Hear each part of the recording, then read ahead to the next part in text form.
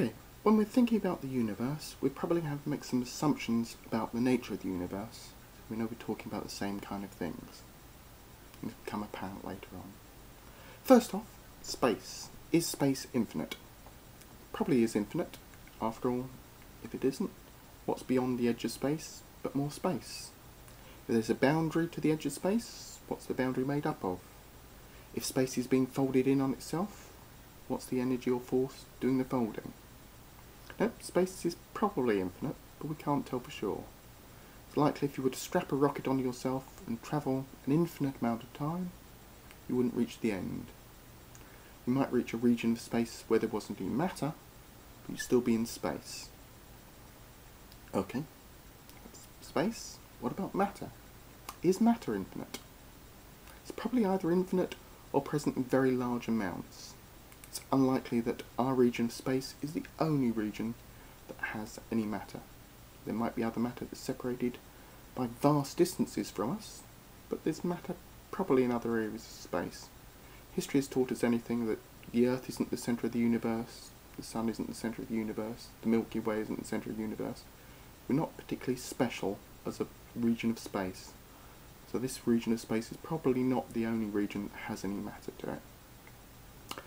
Okay, what about Big Bang then? During a Big Bang, matter is attracted to other matter. Matter then forms a dense ball, denser than any sun or star that's collapsing on itself. This is a ball of matter, not a single point or singularity. After all, matter can't inhabit the same space as other matter. The forces just before a Big Bang are in balance, those of attraction and repulsion. The Big Bang occurs when there's too much matter pulled in. The forces holding it in can't come back, they're forces pushing it out. It's like a nuclear reaction, it's just going critical. There's just too much matter in there to hold it in. The standard model of the universe, however, the matter that's measured in the universe is missing a large amount that's needed to stop the Big Bang collapsing back in on itself when it happens. What's happened is that dark matter and dark energy has been invented to fill this gap. However, like the invention of ether in the 19th century and other flawed theories, this isn't a good way to go for science. Rather than check theories, measurements, assumptions, we invented a new particle, new energy, which doesn't react, can't be seen, can't be focused on. Just a random thought by some scientists about how to uh, solve the problem. What should have been done is check the theories, check the assumptions, rather than invent something new. Okay, so what can we do about this? Create an alternative model.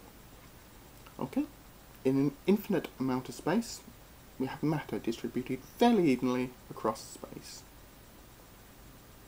Then the matter then forms clumps. These clumps may be separated by vast distances of space, but they will continue to grow and attract more matter until they have enough matter to form a big bang of their own. These clumps could form a pattern like a crystal lattice, each one of the atoms of the crystal lattice being separated by vast distances of space. These atoms, as we were, over billions of years, going through cycles of big bangs and big crunches, expansion and collapsion. Then matter may be leaking from one universe to another, to actually have a multiverse, as it were, a whole series of universes all going through expansion and contraction. This would be a network, as I say, or a lattice of universes around space. What's the evidence for this? After all, criticised dark matter dark energy for lack of evidence.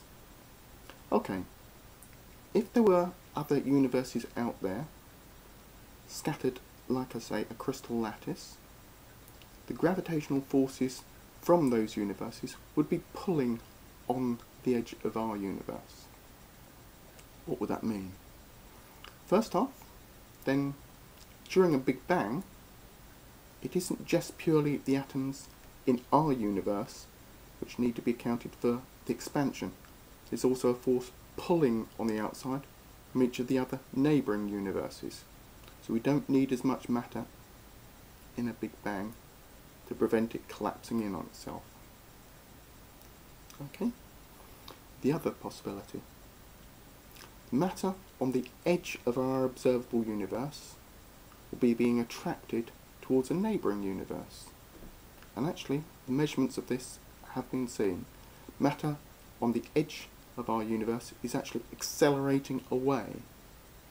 Only one force could be doing that, is if it's been pulled somewhere. So this is it. Do we go with dark matter and dark energy? Or do we go with a multiverse theory?